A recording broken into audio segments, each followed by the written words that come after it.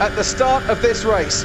Verstappen gifted almost Hamilton the lead. They've got it back. Max Verstappen goes past Lewis Hamilton and for the second time in this race has managed to get his Red Bull out of a bit of trouble.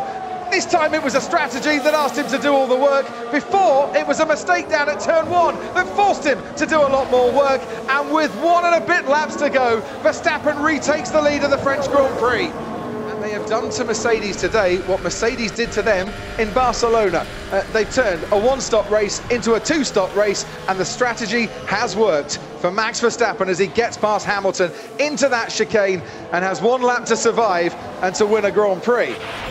Simply lovely. Come on, mate.